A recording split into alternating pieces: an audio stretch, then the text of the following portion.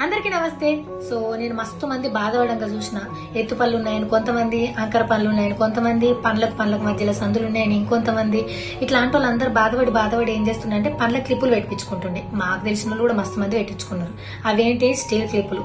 ఒక్కసారి పెట్టిరంటే కొంచెం డ్యూరేషన్ ఉంటుంది. అంటే వాళ్ళ వాళ్ళ పళ్ళని బట్టి కొన్ని కొన్ని రోజుల దాకా ఉంచాలని ఉంటుంది. అది అప్పటిదాకా వాళ్ళు అట్లనే ఉంచుకోవాలి. దానివల్ల నాన్ వెజ్ తినలేరు. బయటికి పోలేరు. ఫంక్షన్స్కి రెడీ అయినా సరే అదే ఫస్ట్ కానొస్తుంది గట్టిగా నవ్వలేరు. గట్టిగా మాట్లాడలేరు.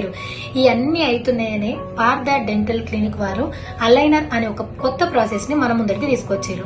దీంట్లో హండ్రెడ్ పర్సెంట్ రిజల్ట్స్ ఉన్నాయి కాబట్టి అందరు ఇదే చేయించుకుంటున్నారు. దీన్ని ఎందుకు చేయించుకుంటున్నారు అని అంటే ఇది ట్రాన్స్పరెంట్గా ఉండి కంప్యూటర్ చిప్ లాగా డిజిటల్ క్లిప్ అన్నమాట. సో ఇది ట్రాన్స్పరెంట్గా ఉంటుంది. అది మనం పెట్టుకునేది కూడా బయటికి ఎవ్వలకు కనబడదు. తెలుసా?